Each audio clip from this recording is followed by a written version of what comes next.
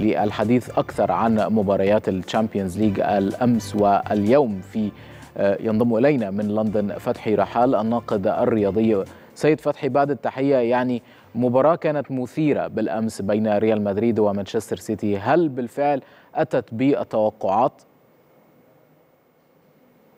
أولا وقبل كل شيء عيد مبارك. عيد مبارك لك ولكل طاقم القناة وكل مشاهد للقناة. أعود بك إلى أجواء الليلة الماضية. كانت ليلة مرعبة بالنسبة للحراس سواء كان حارس مانشستر سيتي أو حارس ريال مدريد. لم نكن نتوقع أن يقبل ريال مدريد ثلاث أهداف أو سيتي يقبل ثلاث أهداف.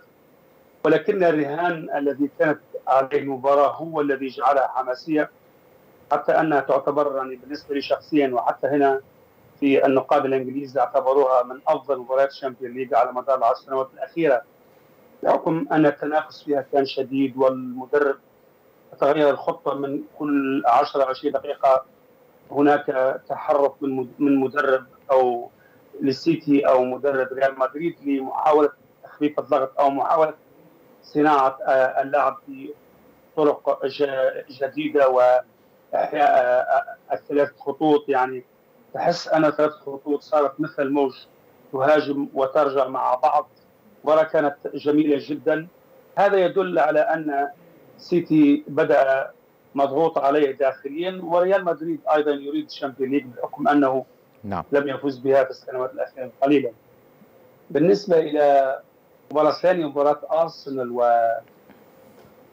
أرسنال وفريق بايرن بايرن جريح جاء ليداوي جروحه وكاد أن يفاجئ أرسنال ولكن شاءت الاقدار أن يعدل ارسنال في تقديري إذا عملنا مقارنة بين اللقاءين أتوقع أن الجميع سيميل إلى كفه مباراة سيتي وريال مدريد لأنها نعم. الأفضل فنيا الأفضل أداء الأفضل نعم. حتى من ناحية الجماهير وشد الأعصاب إلى آخر دقيقة رأينا تطاحن رأينا كرة قدم بأتم معنى الكلمة رأينا من هو المدرب يعني واخطاء كثيرة يعني رأينا أخطاء دفاعية وأخطاء من الحراس خاصة وأن حراس المرمى يعني هما يعني البدائل للحراس الأساسيين في الفريقين. هل ربما الغيابات إضافة للحراس كانت مؤثرة على أي من الفريقين خاصة السيتي الذي ربما صدم بعدم لعب كيفرين دي بروين قبل المباراة بدقائق؟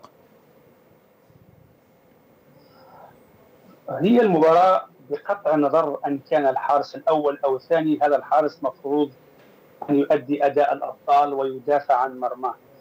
وأيضا بالنسبة لسيتي دي بروين قبل دقائق أو قبل ساعة من بدء اللقاء تغيرت الأمور ولكن المدرب لديه البدائل. لم يعد سيتي ذلك الفريق أو ريال مدريد الذي يعتمد على على لاعب واحد. نعم. أنت تأخذ الملايين أنت تدافع عن الفريق. لا لا يوجد الآن لاعب في السيتي أنصاف لاعبين ولا حتى في ريال مدريد. أي لاعب من الدكة يدخل يصنع الفارق.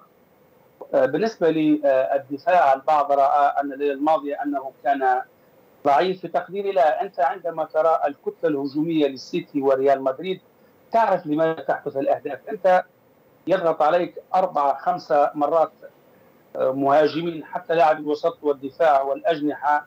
والظهير ايمن والظهير ايسر يتحولون. كلهم تقريبا إلى كتلة هجومية من سبع لاعبين. والضغط بالكرة فتقع الأخطاء وتأتي الأهداف. وهذه هي جمالية كرة القدم. نعم. كرة القدم تعتمد على الضغط وعلى الأداء الجانبي وعلى المراوغات وعلى أيضا إذا استغلال أخطاء خط الدفاع لهذه الاهداف نعم اذا نتحدث عن مباريات اليوم. يعني مباراة قوية وجماهيرية من الطراز الأول. يعني برشلونة وباريس سان جيرمان خاصة هذه المباراة لديها ذكريات كثيرة في ال Champions League. يعني أشهر ريمونتادا في تاريخ ربما ال Champions League جاءت في مواجهة ما بين باريس سان جيرمان وبرشلونة عندما فاز برشلونة بستة أهداف مقابل هدف. هل ربما هذه المباراة لها خصوصية وطابع خاص؟ كون كل ما يحدث حولها وكيف سيستطيع البرسا أن يوقف ليست مفاتيح اللعب ولكن دعني أن أقولها بشكل مباشر. كيف سيتعامل مع كيليان إمبابي؟ برشلونة ليس في أفضل حالته هذا العام. ليس في أفضل حالته هناك لعب جماعي صحيح ولكن ليس في أفضل حياة حالاته المباراة في باريس. وباريس عنده جمهور متعصب إلى درجة غير عادية ويضاهي تقريبا جمهور ليفربول في التشجيع. ولكن برشلونة أيضا هو جاء ليدافع عن حظوظه. برشلونة لن يستسلم. برشلونة بلغة أصح سيبحث عن أخف الأضرار. ولما لا المفاجأة والانتصار؟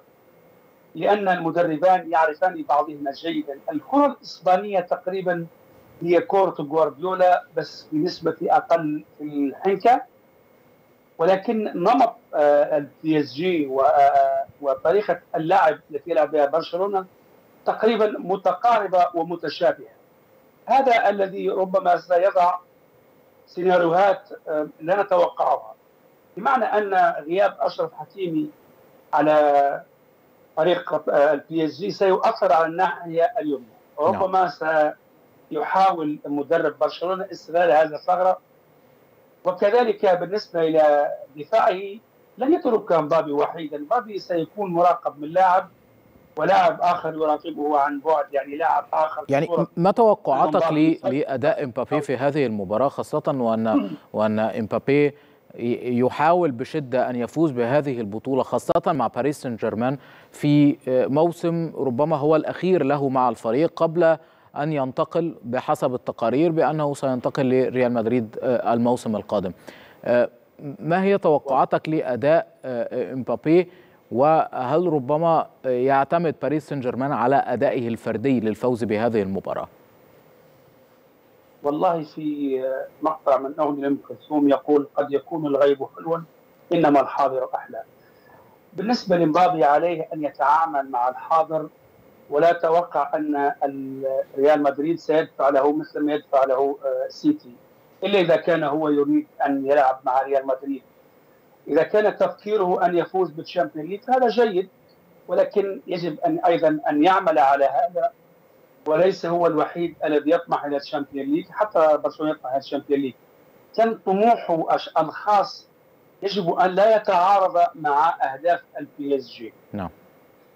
بمعنى إذا كان هو يبحث عن مجد خاص به فلن يحصل عليه آه لأنه إن كره القدم لعبة جماعية ثم نعم. هذا الأخبار التاليه أنه يقول سيرحل أو يبقى أم لا يبقى المهم بالنسبة له إذا كان لاعب محترف عليه أن يركز مثل ما قلت أن يفوز بال Champion League هذا الموسم نعم. ولكن إذا شتت ذهنه خارج حديقه الامراء بباريس فانه لن يحصل على ال Champion League وربما لن يذهب إلى ريال مدريد. نعم. صحيح هو لاعب كبير ولكن لا لا يعني أنه يفكر في هذا أو تلك سيحصل عليها. نعم. الحقيقة تقول إذا كان أن إذا كان عليه أو إذا كان يريد أن يفوز بال Champions League فيجب عليه أن يفوز الليلة وفي لقاء العودة ثم يفوز في ال semi-final النصف نهائي ويفوز المباراه النهائيه وبعدها يتحدث عن ريال مدريد. نعم. هذه رؤيتي أخيرا ودائما نعم. أقول كان مبابي أو غيره. نعم. أخيرا نتحدث عن المباراة الأخرى أتلتيكو مدريد وبروسيا دورتموند. هل ربما هذه المباراة تبدو لك متكافئة بعض الشيء في هذا الدور؟ هي ستكون مباراة متعة لأن الفريقان يريدان أن يداويا جراحهما من خلال هذه المواجهة. م. دورتموند البعض يقول لك ليس دورتموند السنة الماضية صحيح ولكن يجب أن نعترف أيضا أن الدوري الألماني هناك فرق عملت واستخدمت لاعبين وهي الآن متقدمة على دورتموند. ودورتموند بقى في مستواه. نفس الشيء ينطبق على فريق أتلتيكو مدريد. الفريقان لم يضخا دماء جديدة تصنع الفارق.